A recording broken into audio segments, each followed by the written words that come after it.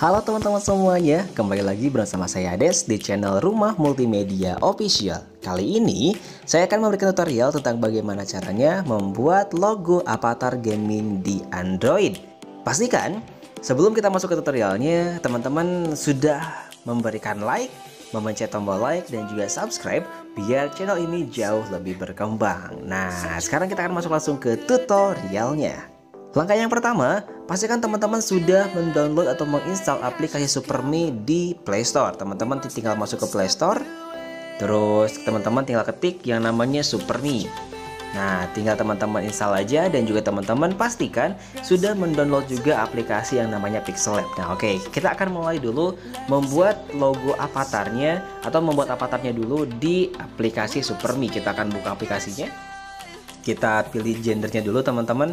Laki-laki atau perempuan? Kalau laki-laki tekan yang sebelah kiri. Nah di sini teman-teman silahkan tentukan wajahnya akan seperti apa. Mau seperti ini seperti ini seperti ini. Serahkan teman-teman. Pilih sesuai dengan saya teman-teman semuanya. Terus kita akan pilih rambutnya Rambutnya silahkan teman-teman atur sesuai dengan selera teman-teman. Mau yang seperti ini, seperti ini, seperti ini, seperti ini Silahkan atur sesuai dengan selera teman-teman semuanya ya. Kita pakai yang seperti ini dulu aja deh ya Untuk contohnya adalah Nah rambut belakangnya mau yang panjang, yang curly-curly gitu kan Yang lurus kayak gini silahkan Nah ini ekspresi yang bisa teman-teman gunakan. Kalaupun nggak mau pakai ekspresi teman-teman bisa menggunakan dengan manual Yaitu memilih mata, alis, hidung, bibir, sampai telinga ya teman-teman. Nah kalau misalkan mau yang singkat teman-teman tinggal pilih yang ekspresinya aja. Nah seperti apa ya? Seperti ini, seperti ini, seperti ini, seperti ini gitu kan? Ataupun yang seperti ini, seperti ini. Silakan teman-teman pilih sesuai dengan apa yang teman-teman inginkan aja ya. Kalau udah semuanya di sini teman-teman masih banyak aksesoris yang bisa teman-teman gunakan. Ya semacam telinga bisa pakai headset gitu kan? Atau headphone dan lain-lain ya teman-teman. Nah sekarang kita akan pilih pakaiannya. Pakainya silahkan teman-teman tentukan mau yang seperti apa. Yang putih yang seperti ini yang seperti ini atau yang kayak gimana pun silahkan ya teman-teman ya. Atur sesuai dengan selera teman-teman semuanya. Aksesoris di atasnya topi gitu kan dan lain-lain sebagainya silahkan yang di belakangnya jubah terakhir gitu kan kayak gini kalau yang kayak gini kayak gini terserah teman-teman ya. Silahkan sesuaikan dengan selera teman-teman semuanya. Terus yang backgroundnya nah yang backgroundnya pastikan teman-teman backgroundnya itu transparan. Kenapa transparan? Karena kita akan membuat logonya itu di pixel lab teman-teman. Nah bagaimana caranya biar transparan? Teman-teman tinggal pilih yang paling ujung kiri di atas. Nah yang ini. Jadi biar langsung transparan teman-teman ya. Kalau udah sekarang kita masuk ke ekspresi tangannya. Nah, di sini silakan teman-teman pilih sesuai dengan yang teman-teman inginkan. Banyak ekspresi tangan yang bisa teman-teman gunakan. Kalau saya pakai yang ini aja deh ya.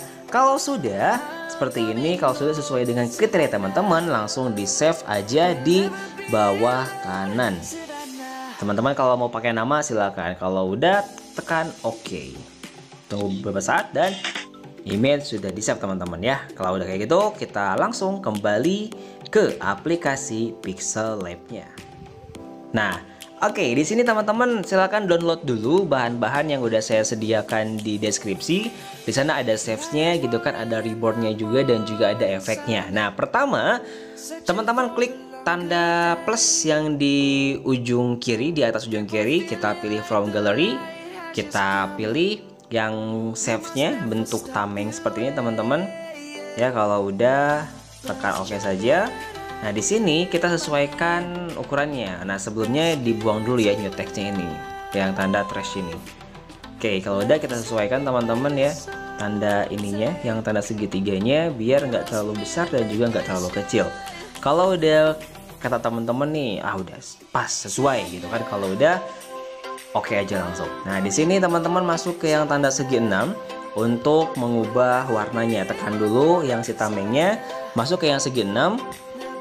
Terus pilih color, dibuat enable. Di sini kita gunakan warna hitam aja teman-teman. Kalau udah klik OK.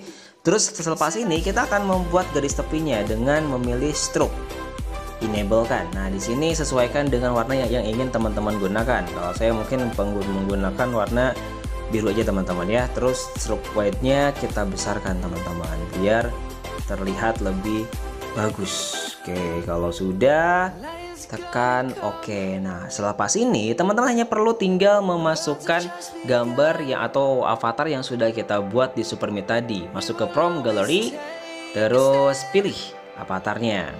Oke, kalau sudah kita perkecil lagi teman-teman. Oke. Nah, di sini atur kita akan simpan di atas ya teman-teman ya.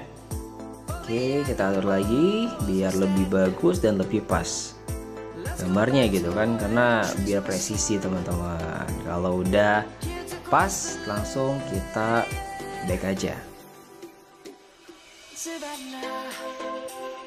Oke, pasti teman-teman kita masuk ke galeri lagi karena kita akan langsung memasukkan reborn yang udah kita download tadi. Masuk ke tanda yang plus tadi from gallery terus kita pilih rebornnya mau yang seperti apa. Kita pilih yang ini misalkan. Kalau udah kita simpan di bawah sini. Kita perkecil ukuran rebornnya.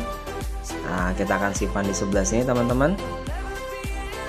Kalau udah kita kembali uh, pilih warnanya. Kita ganti warnanya klik color enable pilih yang, yang warna hitam lagi oke terus kita akan tambahkan garis tepinya ke stroke enable lagi nah untuk warnanya samakan dengan warna garis tepi yang sudah teman-teman buat tadi Oke, kita akan atur biar menutupi si warna hitam yang ada di bawah. Kalau sudah, kita geser ke bawah dulu sedikit biar tidak menghalangi teman-teman ya. Geser sedikit. Oke. Kalau sudah, kita akan langsung tambahkan teks. Klik tambah ini, klik teks, langsung tam kita edit teksnya masuk ke menu A. Langsung edit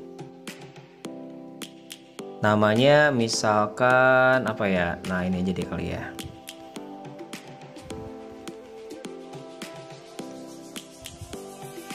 kita geser ke sini dulu nah untuk ukurannya silakan teman-teman atur ukurannya ya. Bisa mau dibesarkan atau dikecilkan sesuai dengan kriteria teman-teman aja ya. Kalau kayak gitu kita langsung ganti fontnya.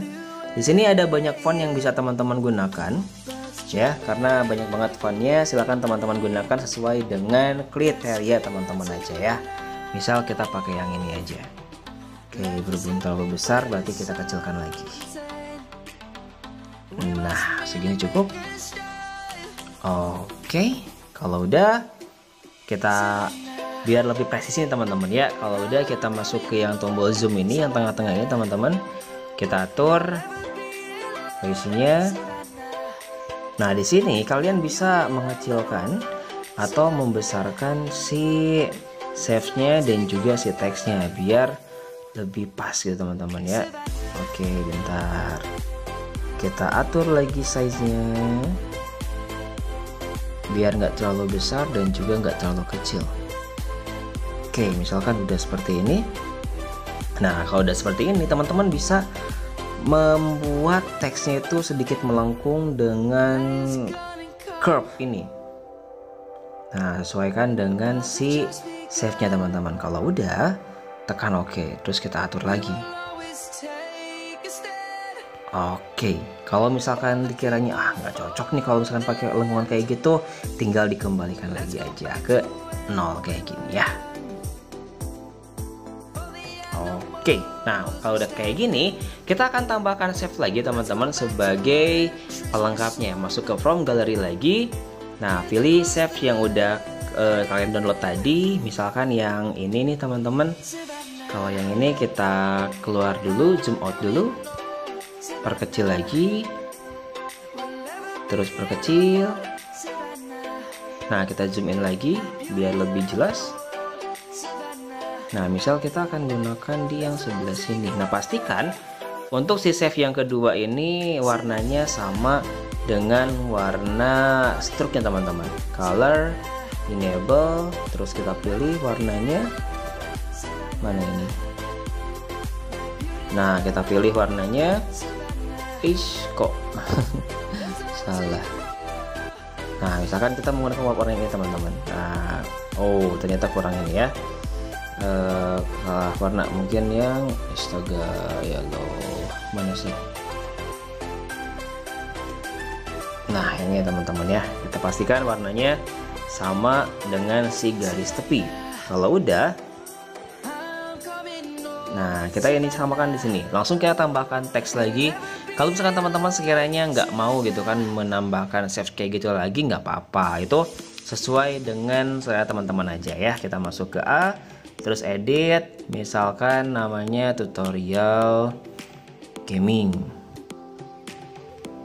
Oke, kalau sudah kita masukkan ke sini, kita atur dulu size-nya. Oke. Nah, kalau sudah kita ganti warnanya ke warna hitam aja teman-teman. Oke. Langsung kita coba keluar. Nah, kalau udah kayak gini, teman-teman masuk ke layernya dulu terus masuk ke yang tengah-tengah ini langsung dicentang semuanya kalau sudah langsung di refresh Oke, nah kalau udah kayak gini teman-teman berarti ini sudah menyatu semuanya. Kita akan coba ganti backgroundnya dengan background yang warna hitam teman-teman. Color aja ya, warna hitam kayak gini. Nah,